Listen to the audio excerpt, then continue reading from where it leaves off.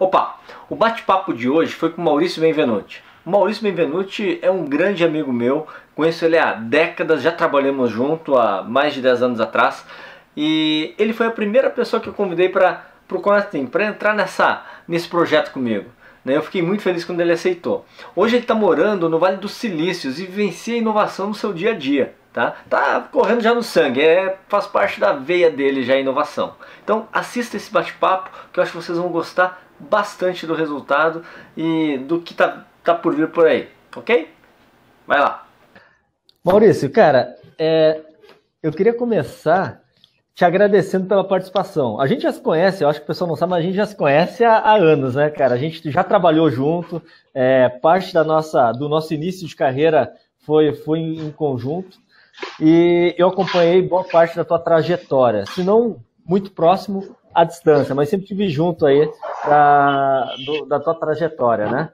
E no final do no segundo semestre agora eu tive a felicidade de comprar teu livro Incansáveis, li ele, cara, de uma forma muito legal. E quando eu pensei nesse congresso, quando eu pensei no Conatim, que é, é, um congresso de design de inovação, eu tive como não fazer o convite para ti, porque tu está vivenciando inovação na veia, né, cara? É todo dia vivenciando isso aí no Vale do Silício. E fiquei muito feliz quando tu, teve, quando tu aceitou, porque é, poder contar com, com a tua participação para compartilhar essa tua experiência, esse tua, tua vivência em inovação com o pessoal vai ser demais, cara, vai ser demais. E eu queria começar que pedindo para te se apresentar. Se apresenta aí para o pessoal, uh, fala quem é o Maurício, é, o que que faz hoje, como é que a inovação entrou na tua vida, como é que foi parar no Vale do Silício, uh, hoje em dia está morando aí, né? Então, pô, começa se apresentando aí, Maurício. Pô, Rodrigo, como eu não ia aceitar um convite seu, hein? Poxa, quando você me falou, eu fiquei muito honrado. Poxa, eu que tenho que agradecer pelo convite, fico muito feliz de poder participar. Uh, vale colocar um parênteses aqui, eu e o Rodrigo nos conhecemos já há décadas, né? Nos conhecemos há muito, muito tempo, e o Rodrigo começou nessa vida empreendedora. Eu lembro, Rodrigo, vários e vários projetos. é verdade. Você já não, você já não, pô, Maurício, estou pensando em fazer isso, ia lá e fazia, fazia, fazia, muito legal, muito bacana. E parte desses projetos tu participou, hein? É, pô, eu lembro, muitos deles, como pré-vestibular, o canal Surf, ah, eu lembro é, sim. Teve, teve alguns aí. Mas bem, Rodrigo, é, eu nasci em Vacaria, na Serra Gaúcha, morei durante 16 anos da minha vida lá, depois me formei em Tecnologia da Informação pela PUC, fiz uma, uma pós, um MBA em Gestão Empresarial pela FGV, e comecei a minha carreira profissional na Service IT Solutions, justamente onde nós nos conhecemos, né, Rodrigo? Uh, fiquei aproximadamente cinco anos na Service, comecei como estagiário, uh, desenvolvendo os sistemas internos da empresa, uh, e depois comecei a, a trilhar uma, um caminho mais comercial dentro do negócio. É, e aí, foi, foi nesse momento que surgiu, talvez aí a, a, a, minha maior experiência até então. Foi aí que começou, digamos assim, surgiu o meu ingresso ao mundo do empreendedorismo. Depois de cinco anos na, na Service, eu recebi o convite uh, de, dois, de dois jovens que estavam começando um pequeno escritório de investimentos em Porto Alegre. Eles, para quem conhece Porto Alegre, né, a, a Service ficava ali na 24 de outubro, a, o escritório, o escritório dessa empresa ficava na Florença e Gartua, é, e eles me convidaram, Maurício, a gente está criando um negócio, a gente está expandindo pelo Brasil, a gente é pequenininho, mas a gente quer ser enorme, você quer empreender conosco? E aí eu fiquei naquela, poxa, largo o emprego para uma aventura, acho que empreender, a minha família não tem esse histórico, mas eu decidi aceitar o convite. Imagina, Rodrigo, a minha família da Serra Gaúcha, como é que não foi essa, essa contar sobre isso na mesa da família, né? Maurício, não, pelo amor de Deus, não faça isso. Mas enfim, foi aí que eu comecei a minha trajetória na XP Investimentos, uh, construindo todo o business da, da XP Brasil afora.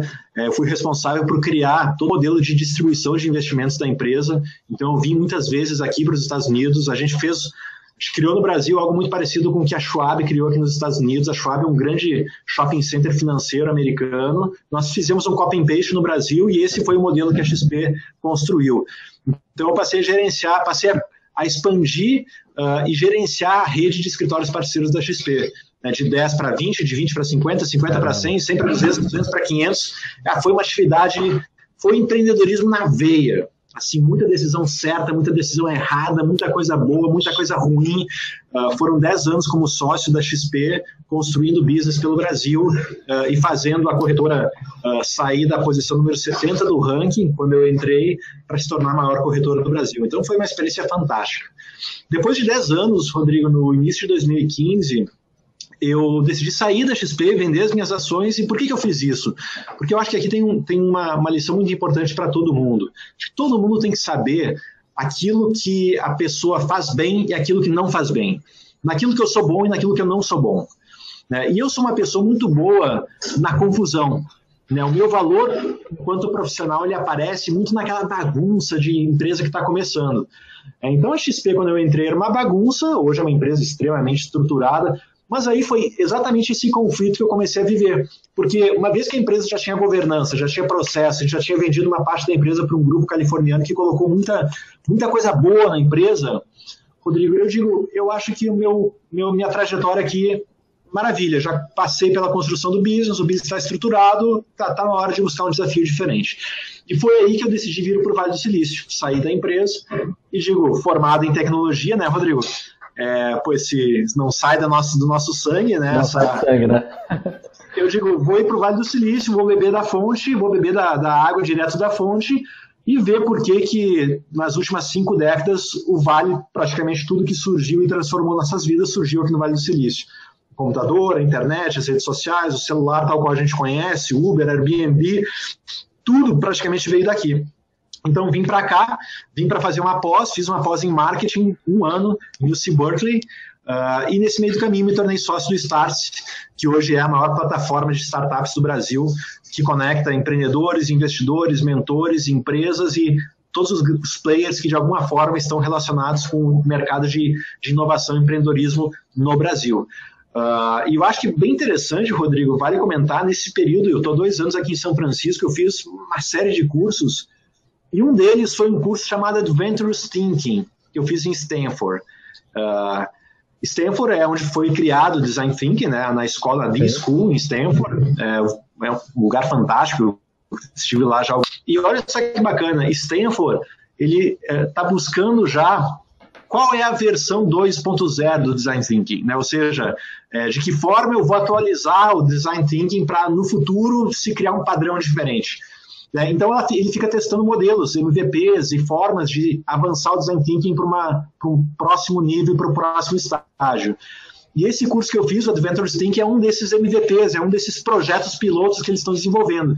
Então foi um curso muito legal, foram uh, um mês e meio uh, de, de, de encontro, muito bacana, muito disruptivo, muita open mind total. Né, eu, eu, eu não esqueço um, um, case que, que a gente trabalhou, por exemplo, olha só que coisa estranha, né? Uh, o leite, que é um produto perecível, que dura, sei lá, nada na embalagem, demora anos, décadas, talvez um século para se decompor. Não faz sentido isso, né? Você tem uma embalagem que dura 100 anos para armazenar um produto que dura 10 dias. Então, é, na, no curso lá, a gente entrou de cabeça nessas, né, como é que a gente pode organizar esse, né, né, equalizar essa relação e aí surgiram várias ideias e vários projetos de se fazer uh, embalagens com, com, com uh, casca, cascas com açúcar e com, enfim, que dura, enfim, uma loucura. Mas foi muito bacana, foi uma experiência bem interessante aí, essa que eu vivi lá por Stanford. Pô, que legal, Maurício, que legal. Cara, e tu falou uma coisa que faz muito sentido, né? Que, a, que eu acho que quem tiver participando desse, desse do Conatink, do nosso congresso aqui de abordagem em design thinking, é, eu acho que a grande maioria deve fazer parte dessa turma que a gente se enquadra, que quando fala que gosta da bagunça, eu, eu, eu me classifico de, de alguma forma igual, cara, mas para mim a verdade é a seguinte: eu gosto do desafio. Se eu não me sentir desafiado, eu não estou no lugar certo. Né? Eu começo a inventar, eu começo a inventar algo que me desafie. Né?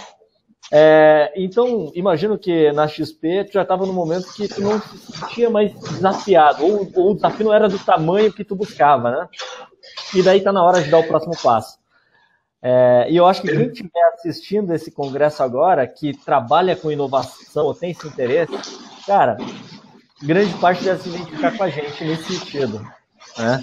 É, e eu aprendi muito isso aqui no Vale do Silício, uh, morando aqui em São Francisco, que é uh, existe uma, uma, uma atmosfera, um, um, ecossistema aqui muito forte, Rodrigo, de, e uma característica muito forte de romper, né? ou seja, de olhar para os lados, não se contentar com a mesmice das coisas e romper.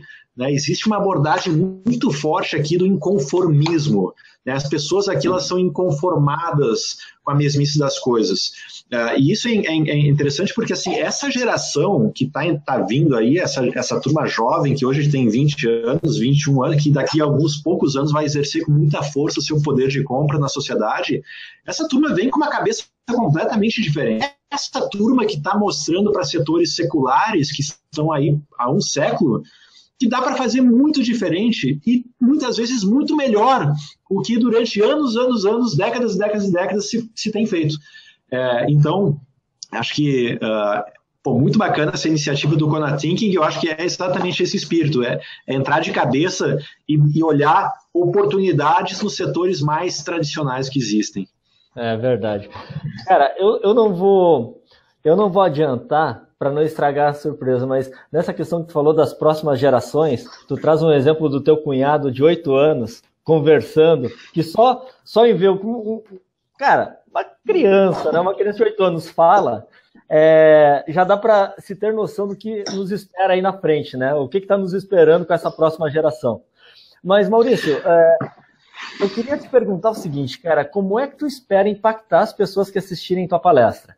Né? É, a tua palestra é específica de inovação, quando eu te convidei, é, foi justamente para te trazer toda essa experiência que vivencia inovação no dia a dia. Como é que tu espera impactar o pessoal que assiste ela, cara? Rodrigo, é, existe hoje uma nova geração de empreendedores uh, que está rompendo com todos os paradigmas que existem na sociedade. Você vê, por exemplo, é, o Uber, que é uma empresa criada há seis anos, que rompeu uma indústria de 100, que é a indústria de táxis. O Airbnb, que é uma empresa criada em 2008, que tem nove anos, não tem uma década ainda, e se tornou o maior hotel do mundo. Acabou, passou Hilton, Marriott, ou seja, em, em nove anos sobre empresas que estavam aí há 50, 60, 100 anos de vida. A gente vê o Netflix rompendo o modelo de comunicação que existe há anos, a indústria de Hollywood, essa não rompe. Se vê, receber Vale do Silício hoje uma grande do Brasil que veio falar, Maurício, cara, o que, que vai ser da minha indústria de estacionamento? Aqui no Vale do Silício tem já carros e mais carros autônomos rodando nas ruas. Então, o que eu pretendo mostrar na palestra e, e, e, e todas as pessoas que vão assistir o Conatim que vão ter a oportunidade de perceber isso, é que a, a sociedade hoje que nós vivemos, ela está passando por um momento único na história. Né? Nunca se viu hoje um, uma, uma, realidade onde uh, negócios ficam obsoletos cada vez mais rápido, as pessoas aceitam a inovação cada vez mais rápido, as tecnologias todas que antigamente você trabalhava de forma isolada, realidade virtual, inteligência artificial, tudo isolado, hoje você converge todas as tecnologias num único produto e isso cria soluções impressionantes. Aqui no shopping de Stanford, por exemplo, não tem o segurança do shopping. Ao invés do segurança humano, tem um robô. E esse robô usa 20, 30 tecnologias juntas, detecta fogo, vidro quebrando, anda pelo shopping. E esse robô ele, ele, ele, ele consegue, ele identifica reconhecimento facial, ele, se, se, se passa um ladrão fugitivo da, da, polícia no shopping, ele identifica, já está sincronizado com a polícia, já manda um alerta para a polícia, se ele está no é, estacionamento, ele identifica uma, uma, placa de carro roubado, já identifica. Isso tudo não é assim, não é mais futurismo isso. Tem muita, muitas coisas que hoje a gente ainda pensa, meu Deus, o carro autônomo que vai andar sozinho, os drones que vão entregar mercadorias, os robôs que vão isso está acontecendo agora. Está acontecendo a realidade, pô, não é mais futuro. A Amazon já está fazendo entrega com drone. Pô, na Nova Zelândia, a, a Domino's já está entregando pizza com drone. Já tem drones que transportam humanos, já tem carro todo mundo rodando nas ruas, já tem robô no shopping. Quer dizer, é dessa forma que eu pretendo mostrar na palestra para as pessoas que o futurismo que muita gente acha que eu nem vou viver isso para ver, vai chegar a fazer parte das nossas vidas muito antes do que a grande maioria das pessoas uh, imagina. Muita gente, Rodrigo, uh, já se deu conta disso e já está se preparando para uh, se adaptar e se especializar perante essa nova realidade que, que, que, que, se apresenta, porém a grande maioria das pessoas ainda não enxergou isso, e piora, tem muita gente que já enxergou isso, mas finge que não vê. Não, não, não, ok, eu sei, isso vai acontecer com aquela indústria, não vai acontecer comigo. E aí, meu amigo, a hora que aparecer algo, vai, atropelar, vai passar por cima. E, e pô, quando, quando as pessoas quiserem buscar, já vai ser tarde. Então é um pouco isso, eu, eu, eu vou falar muito na palestra, o, boa parte do que eu escrevi no meu livro, no Incansáveis, né, como empreendedores de garagem uh, engolem tradicionais corporações e criam oportunidades transformadoras, que é, o, que é o livro que eu lancei no segundo semestre de 2016, e pô, eu fiquei surpreso, acabou virando um best-seller, já está na terceira edição, já está indo para a quarta, por quê? Porque essa linguagem que eu, que, eu, que, eu, que eu passo e que eu vou passar na palestra, essa linguagem de que o futuro não é amanhã, o futurismo que muita gente imagina, ele é agora. É. Não, cara, e, e o seguinte, né? Vale dizer que está na terceira edição, né? Indo para a quarta, mas a tua segunda edição alcançou, acho, em um mês e. Não, não chegou dois meses de lançamento, já estava na segunda edição, né? Foi realmente. É, saiu muito rápido, né, cara? E eu tenho o um livro, vi a palestra. É, a palestra realmente dá o, o, o norte que o livro toma, mas é Cara, é um aperitivo, né? É um aperitivo para quem gosta do assunto, é, em relação ao que o livro aborda. E, e o que que o. Cara, por que que quando eu comecei o projeto, acho que tu foi a primeira pessoa que eu convidei. É, foi, acho não, foi a primeira pessoa que eu convidei. E o que, que honra, que... Rodrigo. Meu, isso, você ainda me pergunta se eu ia aceitar. Que... Cara, eu, eu, eu, eu, vou, eu vou falar o seguinte, Maurício. É, por que, que eu fiz questão da tua participação? Porque Cara, design thinking é uma abordagem de inovação. É uma abordagem de inovação. E muitas vezes a gente tem a tendência de quando chega na fase de ideação do, do duplo diamante, que é onde a gente vai realmente pensar numa solução inovadora, muitas vezes a gente está muito preso ainda a, a, a pensar muito próximo da realidade atual. E, cara, muitas vezes a inovação em si, as grandes inovações, elas passam muito longe da realidade atual. Elas realmente rompem barreira. Elas vão para um, elas pensam de uma forma que ninguém pensou até então. E a tua palestra nos mostra isso a todo momento. Cada exemplo que tu traz, tu está mostrando que algo que a gente imagina que não tem como mudar, alguém chega e faz totalmente diferente. E são nesses momentos que realmente a inovação está sendo praticada, né? É, eu é. tenho Fala aí, Rodrigo, fala aí. só para fechar, o que você falou faz muito sentido, por quê? Porque, querendo ou não, a sociedade, ela vive uma grande média, né? Porque é muita gente, o pensamento mediano, ele, é, ele predomina na sociedade, né? Toda sociedade, é, é nação, enfim, mediano, as pessoas, porque é muita gente e cria uma média.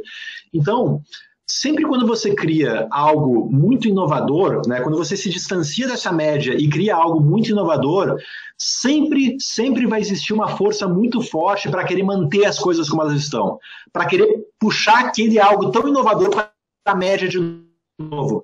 Por isso é difícil para uma, uma inovação ser aceita na sociedade, porque você tem uma essa média vai querer ser mantida, né?